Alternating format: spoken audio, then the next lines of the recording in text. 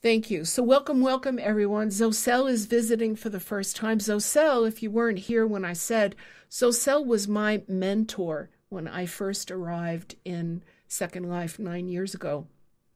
She was on another avatar, um, but totally saved me from wearing boxes and looking really, really bad. So, welcome to you, Zosel. I do want to make a few announcements before we get underway. Up in the front, there's a place where you can click and get today's copies. And um, so make sure that you do that and bring them home and, and think about them during the week. And this week, I was sitting at the breakfast table. I've already talked to Luke about this. I was doing my Bible reading, and I was reading the verse in Revelations where it says that uh, the saints, meaning us, the ones who truly love God, um, overcame by the blood of the Lamb and the word of their testimony. And this verse just kept going through my head over and over and over again the word of their testimony, the word of their testimony. And then I started watching testimonies on YouTube, people who have made videos about how they found God away from religion, just them and God.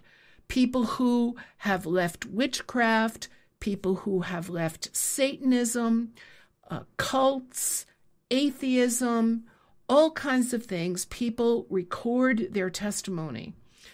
And I found that so interesting. Even Jewish people uh, just talking about how they started to read the scriptures and like all of a sudden it like hit them between their eyes and they were like, holy cow, you know, this stuff is true. And it, the, I just found the testimonies. Yes, I am second. Yes, yes, yes, I am second. I was watching them too. And so I was sitting at the breakfast table having my coffee, and I just look, I am so busy. You all know that. I am not looking for more work. So I know that this was not my idea. And I just heard, like in my head, this idea where it would be wonderful if avatars, we, the people that we are behind our avatars, make a video where we give our testimony. Each of us, look, I used to be an atheist. Uh, Hanua, you have your story that you told me. Um, you all have a story of how you found the Lord and what you've come out of. And Luke and I, I'm I'm volunteering you, Luke. Uh, Luke and I would like to record you. So if this is something, and we would like to put it on YouTube, and we'd like to put, we'd like to, um, uh, well, we're going to do a podcast. That was the second. That was the second um, announcement. But we want to record your testimony so that we can also post it to Second Life Facebook pages because if we recorded you in real life, that has nothing to do with Second Life, and we can't post it to Second Life pages on Facebook. But if it's your avatar giving the testimony, then we can do that. So if you are interested in doing that, why don't you start to make notes about your testimony, how you came to know God, what happened, how did God reach you? Because none of us found God. It was God who came looking for us. So if this is something you'd like to do, uh, let me or Luke know. And uh, we're just moving forward on this slowly. But if you're interested, we would love to record you. Thank you, Heaven, for that. Now, the other thing is, uh, nobody was coming to the Was Up at the coffee house on Wednesdays at noon. And Luke and I thought that it might be um, that time be better used for he and I to do a podcast. And our idea is to do a rational, logical podcast that is geared towards skeptics and also atheists. Because atheists really, truly, I know for me, they have not really thought through their position. They just say, well, I don't believe in God but they haven't really thought they haven't really thought through that process because when you get them in conversation and they say well i believe in the big bang and then you present them with the uh, unmovable scientific law that you can't have an effect or a result without a cause. And so even if they believe in the Big Bang, you have to have the Big Banger, or else their their supposition, their theory falls apart. So Luke and I would like to have uh, do a podcast in conversational tone, and so that's the other thing that we're moving forward on. And uh, the the third announcement that I have is that um, I hired a scripter to actually make us a nine page book for a Bible track that is called Are You a Good Person? And it's the Good Person Challenge, asking people to please take the Good Person Challenge. And I really thought that this scripter was going to charge us a fortune because when you see the book, it's it's it's incredibly done. Uh, the pages turn and and uh, it, I just thought he was going to charge a fortune, and he said to me that uh, it's free because I gave him the idea and he did it, and it gave him a beautiful uh, product for his store. So he gave it to us for free. And then I showed the Bible tract to Matarsi, and Matarsi brought up a very, very good point. He said to me, Who owns the artwork? And I said, Well, um, Living Waters owns it. And I said, I can't use it. And he said, Well, I don't know, Bray. You better check because if it's copyrighted, you could get in trouble. So I wrote to Living Waters and I asked them if I could use it. And they said, well, it's a free tract. It's out there on the internet for anyone to download and to use. So um, this week I will get the the um, actual artwork, the cartoon artwork, into the book, and uh, you will all get a book so that you can give it out. We will have a kiosk in the coffee shop uh, that people can click on and take the Good Person Challenge. So those are my announcements. Um, if you have any prayer requests, please drop them into the prayer request box. God answers prayer. Um, please keep Candy in your prayers. Uh, she has she has not been here because she's she has some real difficult real life challenges going on. So um, I'm not at liberty to say exactly what they are, but uh, let's just say that my challenge with the woman upstairs is nothing compared to what Candy is going through. So please keep her in your prayers. So if you're ready, I am too. Lord, I just ask that your word would feed our soul and our spirit, and that what you have to say to us today will change our lives just a little bit more, and that you would bring us along in the process that you have us in changing us and, and making us more like you. And I, I just praise you, God. In Jesus' name, amen. So last week, beloved, we talked about praise. And we spoke about praise and how very important it is for us because we are made as creatures of praise. And this is absolutely obvious when you see people at a music concert that they enjoy jumping up and screaming and their arms up in the air and yelling and screaming and enjoying it. They are praising the musicians. Standing ovations, even at a uh, a high nose concert where everybody is very prim and proper, they may not start to hoot and holler and scream and yell, but they'll stand up in a standing ovation and clap over and over and over and over again. That's a form of praise. You certainly see outward, uninhibited, and joyous, boisterous examples of praise at football games.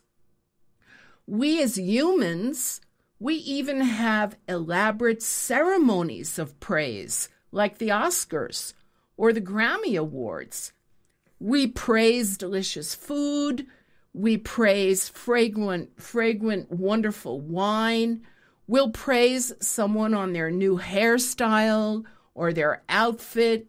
We praise and compliment things all day long without even realizing what we're doing.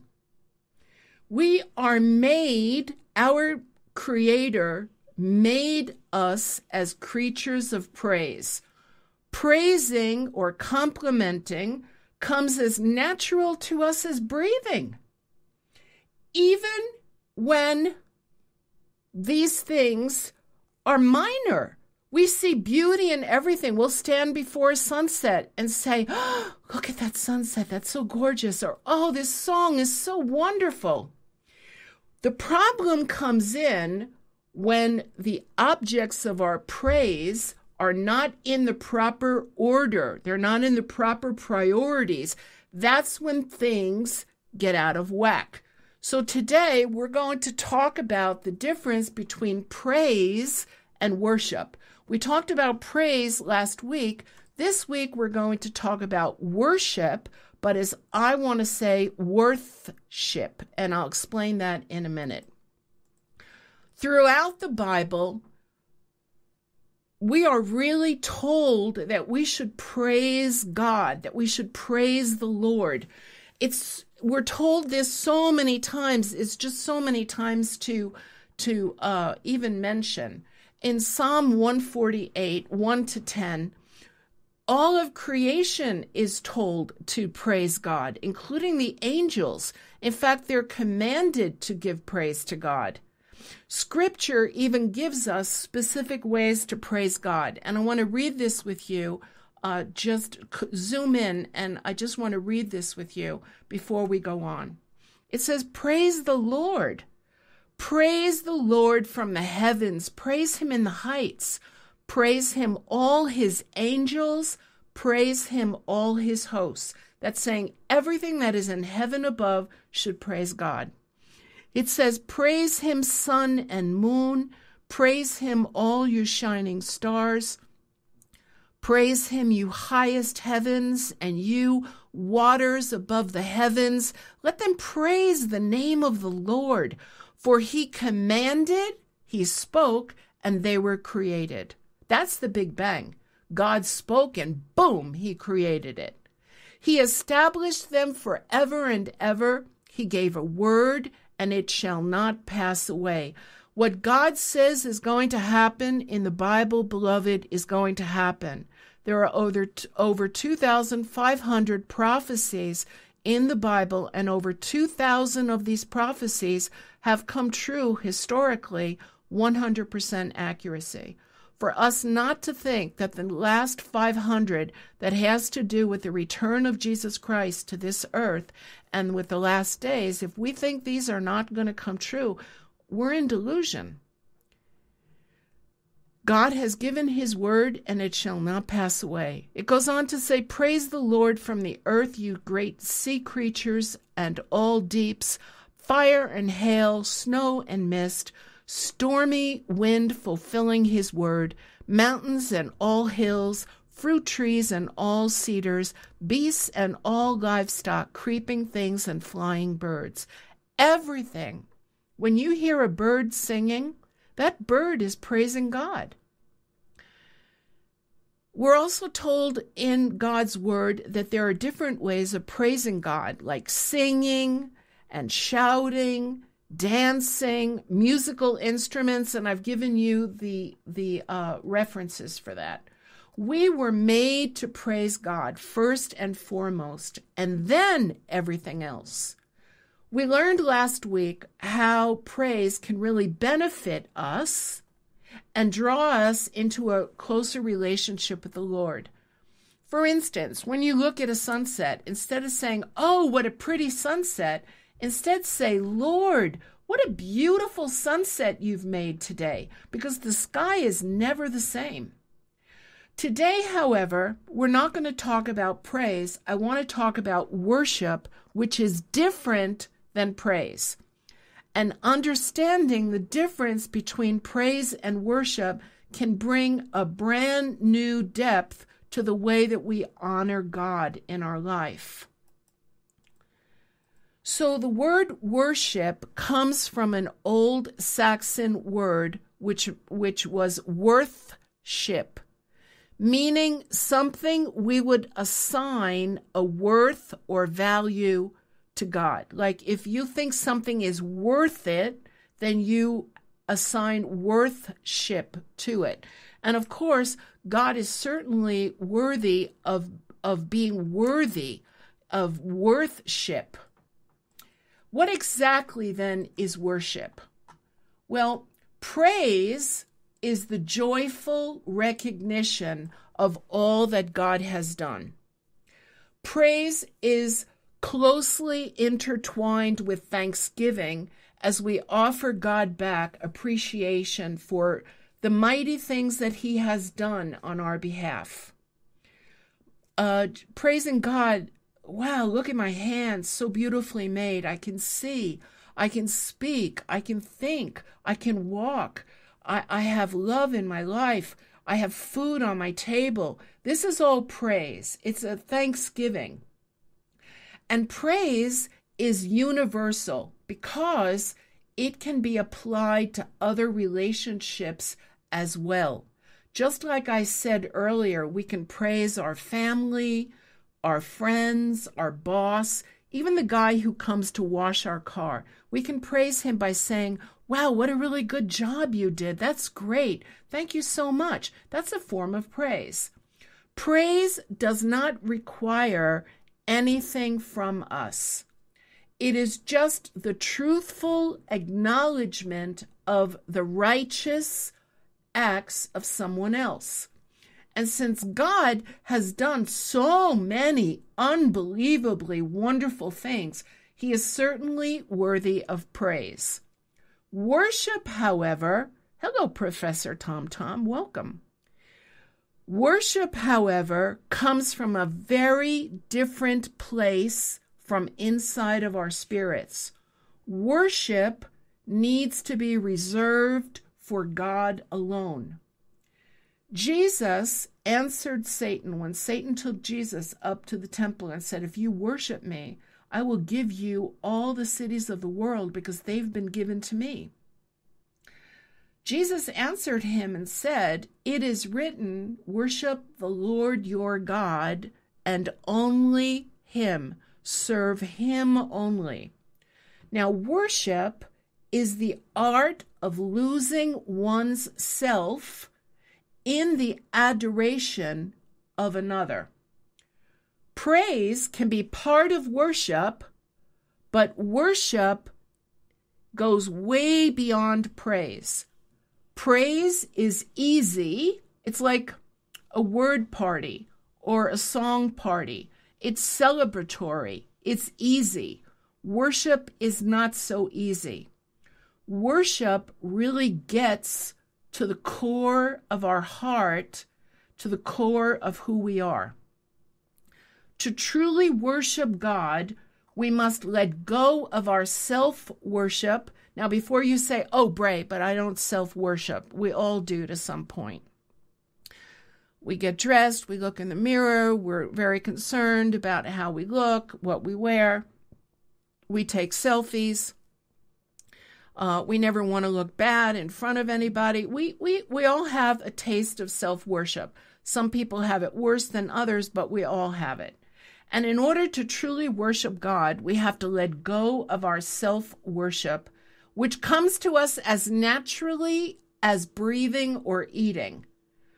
In worship, excuse me, in worship, we must be willing to humble ourselves before God and surrender every single part of our lives to His control. It comes down to understanding you are God and I am not. We must be willing to obey Him give him control over our life, does that make us a robot? No, because that's freedom of choice. And in worship, we begin to adore him for who he is, not for what he has done. We praise him for what he has done, but we worship him for who he is. That is a huge difference. Worship is a 24 7 lifestyle. It's not just an occasional activity. Jesus said to the woman at the well that the Father is seeking those who will worship him in spirit and in truth. Now, when you look at scripture, praise is usually presented as boisterous, joyful, uninhibited, David even danced before God in his underwear. Do you remember that? God wants praise from all of his creation. On Palm Sunday, if you remember this, and we'll be talking about this because next Wednesday is um, the beginning of Lent. As uh, biblical believers, we don't actually celebrate Lent, but we do recognize um, the the time, right? So when Jesus entered into Jerusalem and the people started praising him and shouting, Hosanna, Hosanna uh, to blessed is the Lord, the Jewish priests at that point told Jesus to tell the people to be quiet. But Jesus answered that if the people didn't praise God, that even the stones would cry out. Praise is joyous and celebratory and exuberant. But when the Bible mentions worship, the tone changes. We read verses like, Worship the Lord in the beauty of his holiness. Come, let us worship the Lord and bow down. Just as praise is intertwined with thanksgiving, worship is intertwined with surrender. Praise goes with thanksgiving, worship goes with surrender. Very often, worship is coupled with the act of bowing or kneeling, and these positions show humility and contrition. The physical acts or the physical positions that are associated with worship, such as the bowing and kneeling that I mentioned, also lifting one's hands, help to create that necessary attitude of humility that's required for real worship. It is through true worship that we invite the Holy Spirit to speak to us, convict us, teach us, correct us, and comfort us. Through worship, we are able to realign our priorities with God and acknowledge Him once, once more as the rightful Lord and Master of our lives. And by the way, everyone, I should mention this that um, I've gotten a lot of IMs, people asking me about the Ukraine invasion by Russia, if this is part of prophecy. Um, the 38th and 38th, 39th chapter of Ezekiel does not mention that Russia is going to invade Ukraine, but it does mention that Russia will eventually um, invade Israel. And by taking over the Ukraine, they are adding to their power. They are getting a, a more geographical, uh, strategic position. And so this is not a specific prophecy that's being fulfilled, but rather a step towards the other prophecy being fulfilled. It's just one step closer to the return of Jesus Christ. So if you have any more questions about that with what's going on, please let me know and get in my IM. So, God has exalted, uh, you know, Jesus was a spirit and he was the Son with the Father. But once he came to earth and he took on a human body, he now has that human body. He went back to heaven with his human body. So the part of God that was the Son is now forever in a glorified body. He can't just like dump it. It's glorified, but when we get to heaven, we're going to see the scars on his hands and the scar in his side. He's got that body. And why do we worship? You know, there's a day when every single knee will bow before Jesus Christ and every single tongue will confess that he is God, Lord, and Savior. If you look at this verse in Philippians, it talks about that the Son became man, set aside his glory, and became obedient even to the cross. That's what comes before this verse. And then this verse says, So therefore, because of these things, that that Jesus became obedient even to the cross, therefore God exalted him to the highest place and gave him the name that is above every name. That at the name of Jesus every knee should bow in heaven and on earth and under the earth, and every tongue acknowledge that Jesus Christ is Lord to the glory of the Father. This is amazing. Every knee shall bow and every tongue will confess. Beloved, this means that every atheist, every Satanist, the proud, the haughty, the witch, the Wicca, the skeptic, every single person that has denied Christ will have their knee bowed and their tongue confessing that he is Lord and Savior. The difference will be that our knee bowed and our tongue confessing will be a joyous celebration of welcome, Lord, finally. Thank you, Jesus. And their tongue confessing and their knee bowing will be with fear, terror, dread, regret, sorrow, remorse, and anguish but it will be too late. Only God Almighty deserves our worship. We can give praise to other people, but worship belongs only to the Lord. Only to the Lord should we bow. Only God Almighty deserves our worship. So, why do we worship God? Well, the first reason is that we worship God because He is the Creator. In the fourth chapter of Revelation, John, God gave John a vision of God seated on his throne in heaven. And surrounding the throne are four living creatures and 24 elders.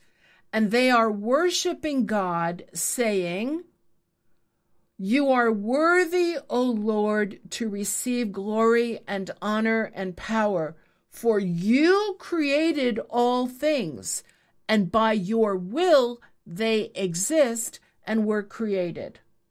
They are exc- exclaiming and proclaiming that God is worthy of our worship because he created everything. All living things have their being in Him. It is our breath in our lungs. We die the moment that God takes that breath away. He's in control of that breath. We also worship God because He is Lord and Master. You know, the word Lord is kind of foreign to us it's not really used much in our world today, at least not in the West. But it was a very widely used term in biblical days. You find it in the Bible mostly referring to God, but it was also used for a sovereign, like a king, or a master. It really is the one who is in charge. And this is a great description for God because he is the sovereign Lord, the master of everything, the ruler of heaven and earth.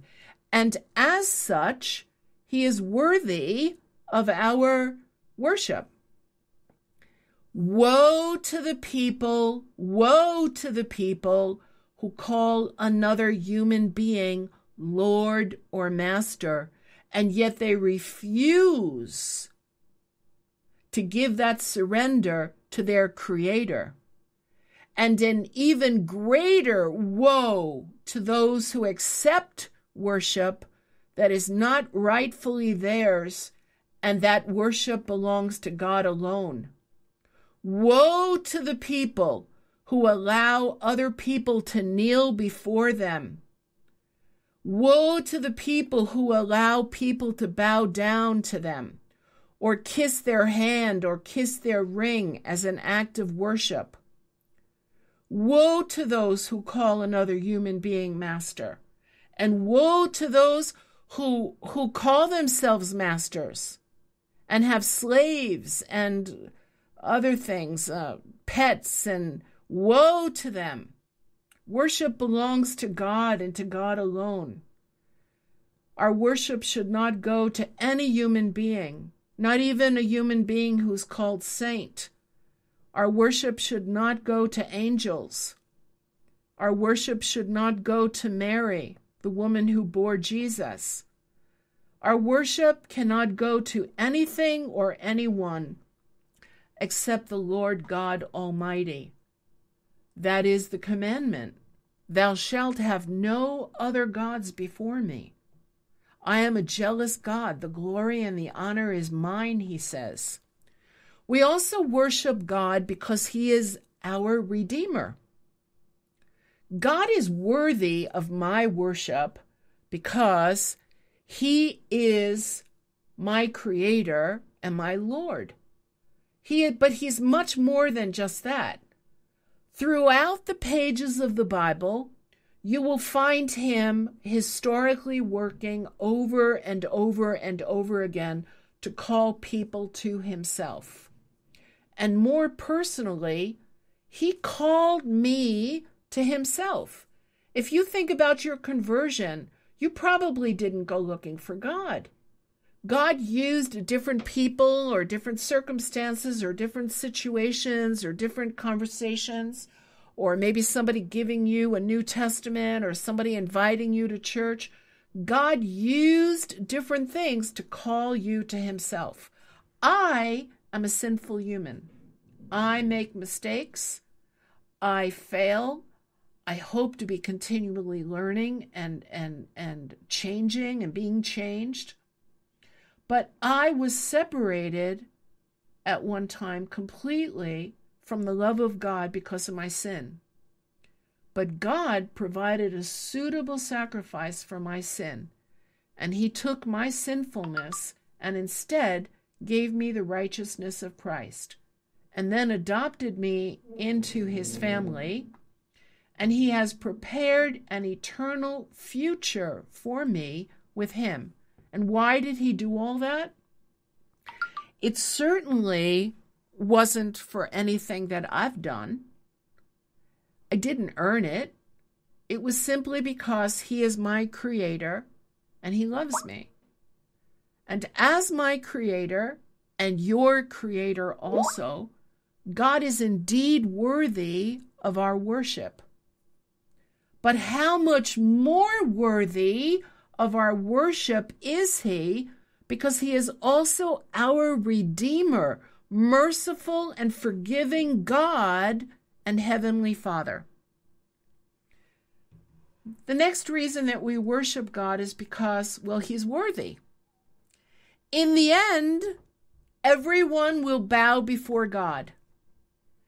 If you've had a conversation with someone lately where they tell you, well, I don't believe in God, you know, you just got to think to yourself, well, you don't now, but you will one day because you will be down on your knees confessing that Jesus Christ is Lord. Because that's what it says. Everyone is going to bow before God and worship Him as Lord, believers and non believers and they will worship God and and and proclaim that he is Lord and then they will be sent off to live in eternity exactly how they lived their life without God. However, when we believers all stand before him, his glory and his majesty will so overwhelm us that we will bow and dance, not because we're forced to, not because some religion is telling us to, but simply because we acknowledge that He's worthy of our worship. How much better for us that we are worshiping Him now. He is our Creator, our Lord, our Redeemer. Our natural response to Him should be to mimic the elders in this passage that you see before you and say, Holy, holy, holy are you. You are worthy, O Lord, to receive all honor and power. So, how do we worship? Well, Romans 12, verse 1, gives us a very good basis for worship. And this says, Therefore, I urge you, brothers and sisters, in view of God's mercy, because of God and His mercy, to offer your bodies as living sacrifice, holy and pleasing to God. This is your true and proper worship. That is the first form of worship to offer our bodies as living sacrifices. The sacrifices of the Bible are kind of foreign to us, but the sacrifices of the Bible were always an animal, usually a lamb. And it was usually the lamb that was killed and then burnt. And the animal was killed to first demonstrate the seriousness of sin and to have a visible example of what God said the law is. The law is if you sin, you shall surely die. And so the animal was killed as a visual example of that. And the animal symbolically took the punishment of death in place of the person whose sins were then forgiven by the shedding of that animal's blood. Orthodox Jews in Israel are flipping out to have the third temple. They are so hot to go for the next temple. They've got all the instruments ready, they've got all the high priests trained. They are so wanting that temple. Why? Because since the temple was destroyed in 70 AD, they know that there have been no animal sacrifices and there has been no forgiveness of sin since the temple was destroyed. That's why they're, they're, they want that third temple so badly. The Jews now, they go to the river and they throw bread on the water, and the bread is supposed to take away their sins. But God never said that. That's something invented by the rabbis. And clearly in Leviticus, it says, without the shedding of blood, there is no forgiveness of sin. And so this the, the death of the animals by substitution, the animal died instead of the person. And God did this this whole system of animal sacrifices, God did this to give us an example of the sacrifice that one day would be Jesus on the cross, the Lamb of God who by his shed blood takes away our sin.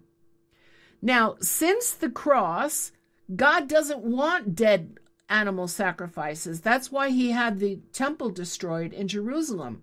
What he wants now is us as a living, breathing sacrifice given to Him 24 7. And we are told that this is our true and proper worship. It is complete surrender, 100% submission, the deepest respect, adoration, and love. It is giving our lives to service to the Lord and Master of the universe. Does this mean that everyone has to be an evangelist? Does this mean that every one of you has to go be a preaching pastor? No. But it does mean, it does mean, hmm, It does mean that you submit to God where you are living. It means that you submit to God and you accept what God has you doing. It means not complaining about what you don't have or where you can't go. You taking care of your elderly parents is an act of worship. You caring for a sick or disabled spouse or a sick or disabled child and doing it joyously is an act of worship. Living with far less money than we would like is an act of worship. God has each of us, and this is hard to swallow sometimes. God has each of us exactly where and how He chooses us to be. Accepting that is an act of worship. Does that come overnight? No, it's a process for all of us. God has each of us where and how He chooses. Accepting that is an act of worship. Is this easy? No. And that's why it's called a sacrifice of worship. Remember, I said earlier, praise is easy, worship is not. When God wants to change our lives, our finances, or our circumstances, He will. Worship also requires energy and effort, especially during those times when you really don't feel like it. It requires effort because it you have to do what you don't feel like doing. And if you're grumbling and complaining about it, then it's not worship. But if you have a cheerful heart about it, then it becomes worship. We can either grumble and pout, sulk and complain, or we can turn what we don't like into an act of worship. Worship is also living, it's a lifestyle. Worship is how we live and the attitude that we carry while we do it. Worship is our lifestyle. It's our daily deliberate choices. It's how we dress, how we speak, how we present ourselves to the world. We were all created to glorify God, and so that everything we do should do exactly that glorify God. So then the question is where should we worship? Well, tradition, religious tradition, tells us that there is a specific time and a place for worship. For most, that tradition says that it's on Sundays. For Jews, it's from Friday night to Saturday night. We worship here in Fellowship Field. However, tradition isn't always the whole truth. Real worship is much more than a Sunday or a Saturday experience. Worship should occur in a Christian's life throughout the whole day in a variety of ways. The first kind of worship we have is devotion. That's a time of learning. This is your Bible reading or your Bible listening letting God speak to you, change you, teach you. Prayer is also a form of worship, but it's not it's it's really thanking and requesting. It's not really worship. This is the time that we go to our Father with our needs and our thanks. So while we're asking God for something, that's really not worship. That's prayer. But then we have worship. This is a time of adoring, honoring, singing to the Lord, bowing our hearts before Him, not asking Him to do anything, just worshiping Him for who He is. Another way that we can worship God is through tithes and offerings. Tithes and offerings is a time of giving and sharing. Now, I don't stress this, but the Bible is very clear in the book of Malachi that God feels that 10% of what we get really belongs to Him. Now, you can give Him 10% of money. You can also tithe time and effort. There are many ways to tithe. I am not so legalistic that I feel that uh, 10% is always money because time is also money. There are many ways of giving. Here in Fellowship Field, thankfully, I'm grateful to God that our financial needs are very few. We don't have a pastor's salary that we have to pay. The only thing that we really have to pay is our tier. And we also have to pay for the visual uploads of the teaching boards every week. And and there are other occasional low expenses, but thankfully, all of you cover that. And thank you very much to those of you who always remember that. And I always have uh, money that I'm able to pay tier, and I always have money for uploads. So I'm very grateful for that. But all of you have many more ways to give, and you have much more tithing that you really need to be doing in real life. You can support some mission. You can give to a gospel outreach. No, the scripter of the book, well, the scripter of the book gave me the book for free. I really, he, I think he's selling it for like almost 5,000 linden. And I really thought that he was going to charge me like some outrageous amount, like maybe five or 10,000, because it took him three months to do the scripting on it. Wait till you see it. But he gave it to me, praise God. But there are many ways that you guys can tithe to, um, to, as a form of worship to God. You can, like I said, you can contribute to a soup kitchen. You can make comfort bags for the homeless. You know, you put in some uh, hand cream and a razor and a pair of socks and deodorant and and and there's so many things. You can send groceries to a struggling family or some elderly or disabled person on a fixed income. I have to be honest with you guys. We really were scrambling during these months without that rent coming in. And God put it in some people's heart to come to me and give me a, a contribution, a donation. We had Christmas and New Year's dinner because of a donation from somebody. And another week, we bought groceries because of a donation of somebody else.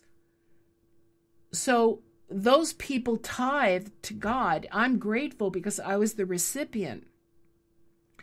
You can read to the blind in real life? Absolutely. Visit a nursing home. And I don't know how things are in the States with COVID, but um, you can offer to run errands for someone who can't. You can offer to clean their house, mow their lawn, shovel their snow, babysit for some poor ragged mother who's just about to go out of her mind so she gets some time to herself. Be creative. God will show you where you are needed if you are open and willing. And all of these things are worship. Every time I counsel someone, I spend hours with someone because they need they need some support, they need counseling. I do this in real life too. I don't charge. I never charge for teaching or for counseling. This is all worship. God will show you where you are needed.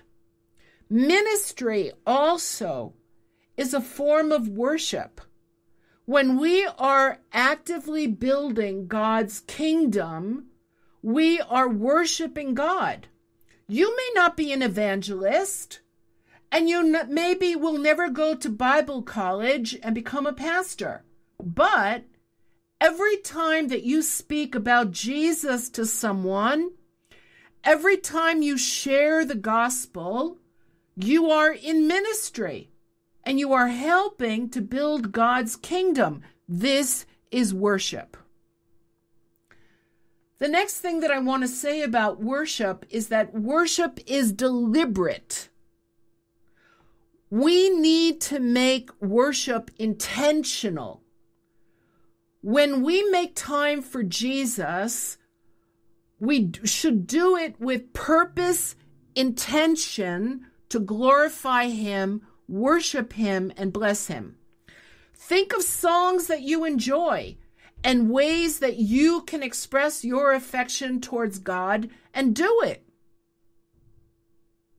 Don't sing a song because you can sing well, and don't not sing because you don't sing well. You aren't singing for America's Got Talent. You are singing your heart to the Lord. And you don't sing a song because it's a cool tune or you like the beat. And you don't raise your hands because everybody else is raising theirs. Whatever you do in worship, do it intentionally to show God his worth to you and nothing else. Spend time in in your alone time Raise up your hands in in in in that position to say, "Lord, I just worship you." When you do that, I promise you, you're going to feel something in your spirit. Deliberate worship is also time. Time is very precious. And I want to ask you this morning do you have time? Is there room in your busy schedule for Jesus? Do you actually set a time aside for the Lord, or is he the last one on your list? Do you just fit him in if you remember and there's time? If you schedule a friend, if you schedule a call, if you schedule an appointment, then surely the Lord God Almighty deserves a time slot in your agenda. Amen? Worship is also spiritual. True worship takes place in the spiritual realm.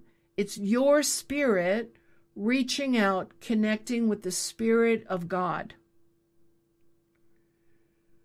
It's not the place and it's not the method that's important. It's the condition of your heart. It doesn't matter how we feel. It doesn't matter what song we're singing. It doesn't matter what we sound like when we sing or when we play an instrument. It is simply allowing our spirit to communicate with God on a higher level, a spiritual level. Worship, and this part is so important, beloved. This part is so important, what's coming up. Worship is sacrifice. Remember that I said to you that the the um that worst that praise is easy and worship is not. Worship is sacrifice. Worship will always cost you something. It will cost you time, effort, money, lifestyle change. Worship will cost you vanity or pride. Worship might even embarrass you. It's humbling to display our worship. It's humbling to get on our knees before God. It is humbling to lift our hands and bow our head. Even if we are alone and no one is around, for many of us, that feels strange.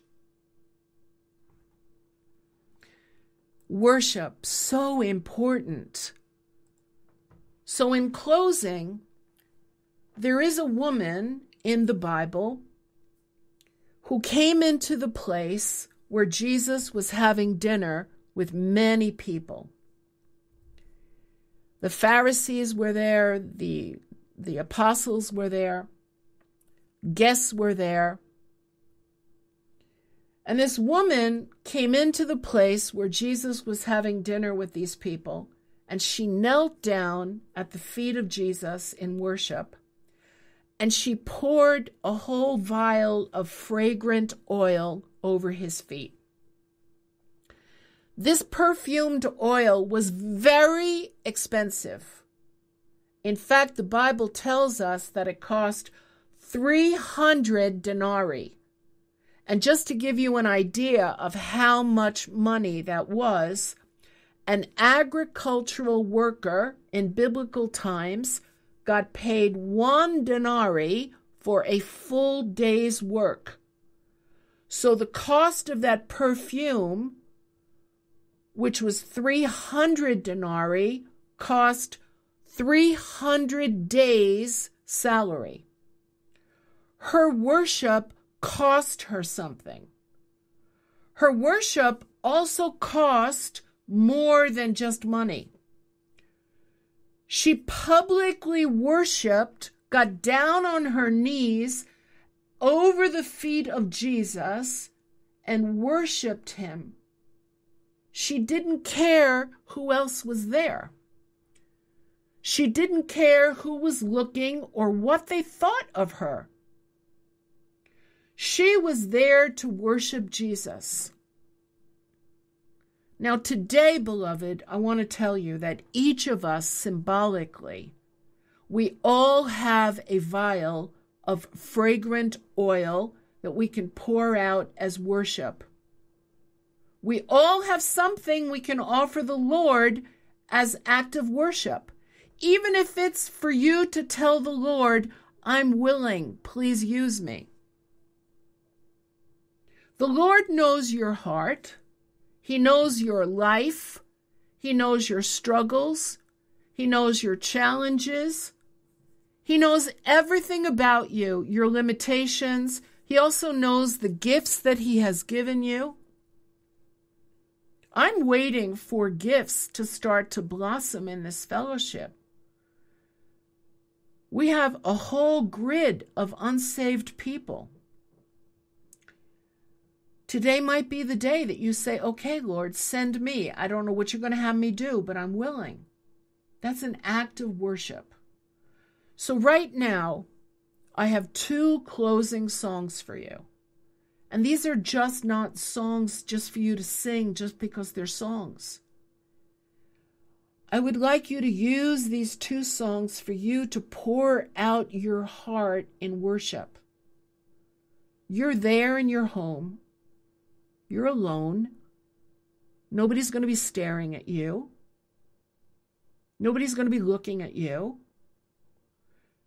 You have the you have the privilege of having privacy. Pour out your heart in worship with these two tunes, these two songs. Offer, offer to the Lord that which you have never given. Lose yourself in these songs Lose yourself in worship with Him and adoration like you never have done before. Bring yourself to another level. And I pray that in Jesus' name, that may God bless this word in all of our lives. And may you truly feel the presence of the Lord as you enter into worship. And I pray this in Jesus' name. Amen.